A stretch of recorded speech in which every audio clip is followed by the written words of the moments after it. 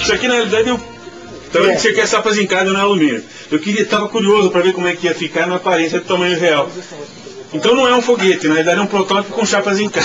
Falei, ah, vou levar de Não, repente. ele que tem o PS40, que tem a Cartinha. quadrada. Tipo PS40. Na realidade a intenção é fazer o foguete mais rápido e fácil possível de fazer para testes.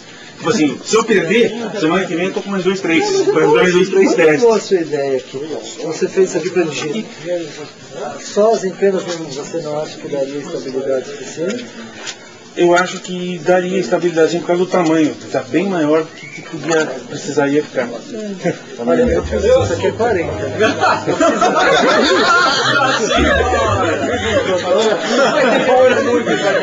Poliuretano. É cacheta, madeira الكشيطة ما دير لها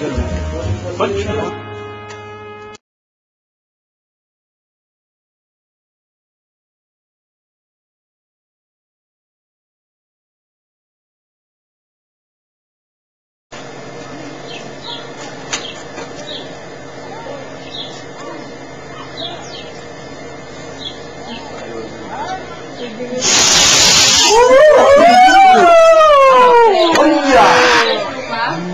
Essa foi muito quente, né? Cuidado do jeito que hora que ele vai cair. Ele vai cair tá aqui, né? Nossa, isso foi legal. Cara, Não vi ainda ele. Não vai ver. Só vai escutar. Cuidado da cabeça.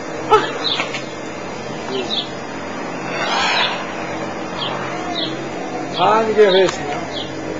Nossa. Será que é tão rápido, né? Esse? Esse valeu. Caraca!